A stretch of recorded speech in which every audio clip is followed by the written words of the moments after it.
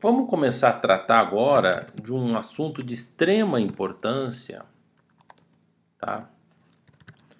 Vamos começar a tratar de um assunto de extrema importância, que é o conceito de variáveis, variáveis na linguagem C. É, vamos começar com uma, uma variável do tipo inteira. Então vou colocar aqui variável variável do tipo inteiro, int. Tá? O que, que o int representa? Representa números inteiros.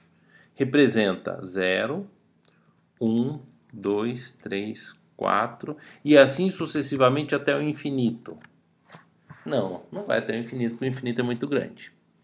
Se fosse até o infinito, comia toda a memória do seu computador, comia toda a memória de todos os computadores, representar um número tende a infinito, né? Você vai toda a memória do mundo é incapaz de representar um número tendendo a infinito, porque o número tendendo a infinito é muito grande. Então, é limitado. São alguns números. Qual que é o maior número representado? Já que estamos falando de variável tipo inteiro, deixa eu uma, pegar minha cola aqui para te falar qual que é o maior. Olá, acabei de baixar minha colinha aqui.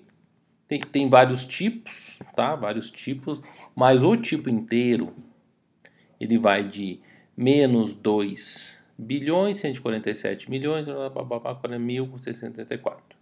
Vai do negativo até o positivo, 2 bilhões, 147.403, 647. Então, esse é o limite, da ordem de 2 bilhões, tá? Da ordem de 2 bilhões. Então, ele representa números positivos e representa números negativos, menos 1, menos 2, menos 3. Então, são esses os números inteiros.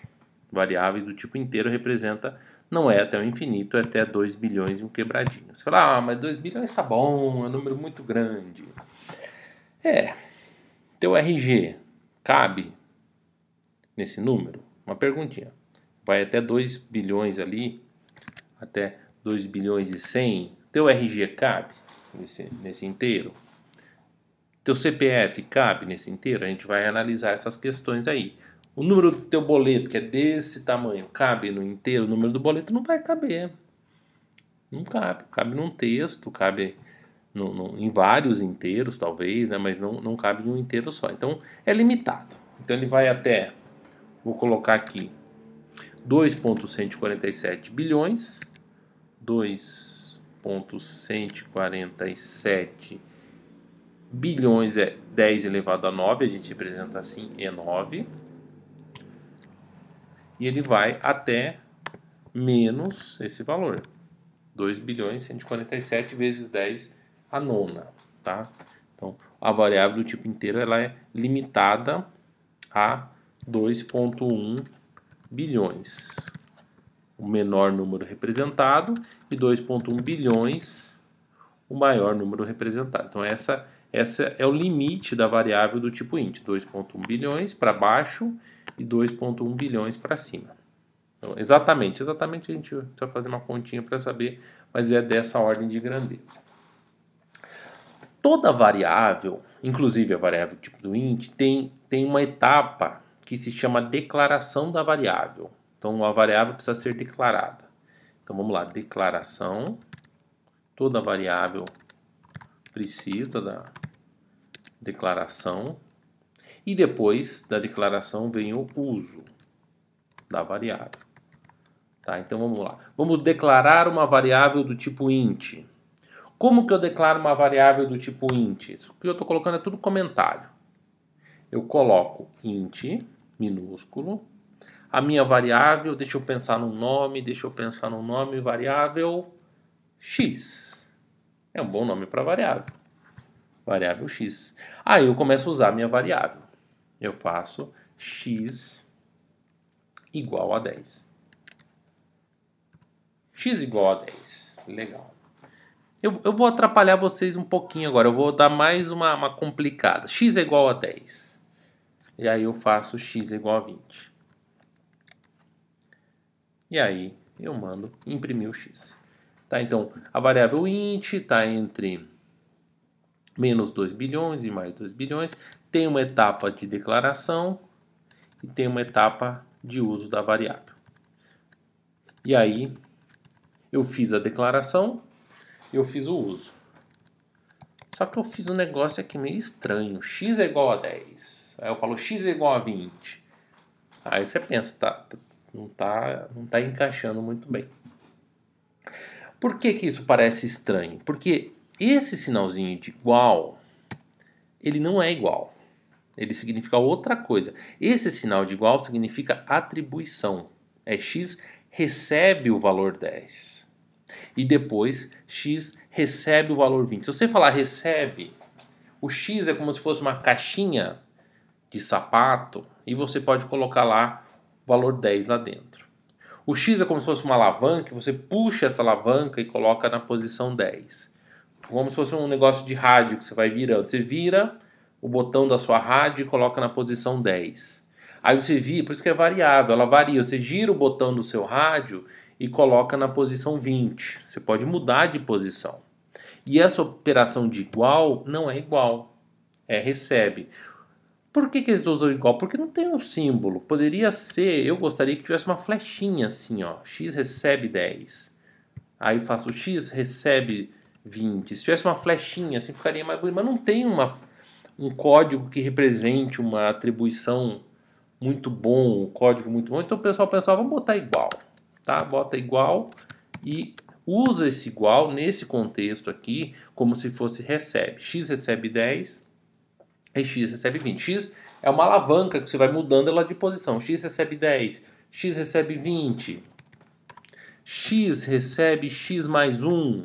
Opa, mexi na minha alavanca, mexi no, no meu dial do meu, do meu rádio e mudei para outra posição. Eu vou mudando ela de posição, por isso que ela é variável.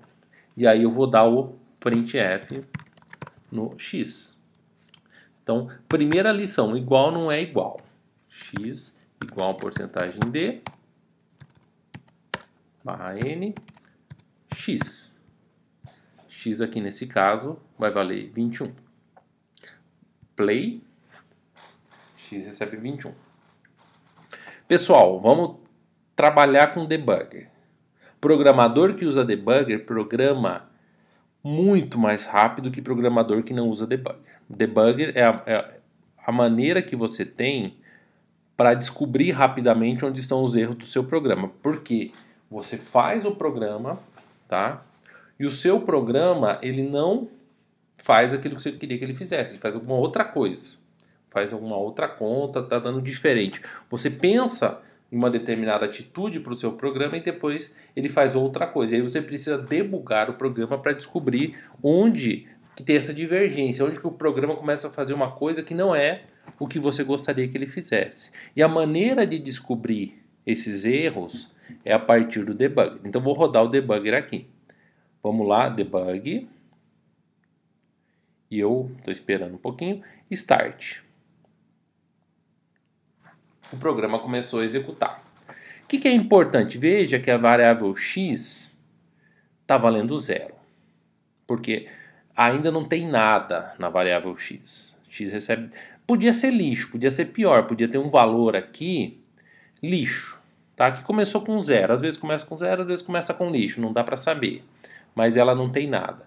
Aí eu vou executar a linha 10, vou dar o step over, pá.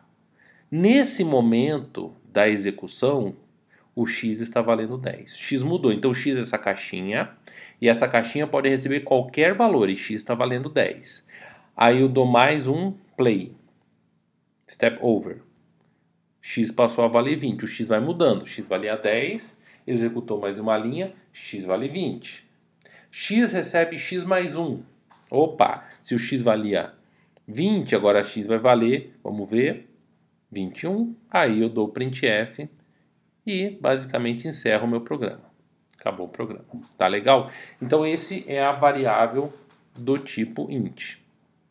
Variável inteira, tá? O que, que eu gostaria de frisar com vocês para ficar bem claro? 10 dividi é, 5 dividido por 2, inteiro dividido por inteiro, vai dar, eu já falei, mas eu vou repetir isso aqui, divisão inteira, 5 dividido por 2 dá 2, não dá 2,5, tá? x 5 dividido por 2 dá 2, porque a gente está trabalhando com variável inteira. O x não tem como valer 2,5, é impossível, porque ele é inteiro. É uma variável que recebe 1, 2, 3, 4, menos 1, menos 2, menos 3, menos 4, mas o 2,5 não está no grupo, no leque de possibilidades da variável do tipo int. Tá? Então, eu vou dar um pause agora, um stop, e eu continuo daqui a pouquinho falando mais um pouquinho da variável do tipo int.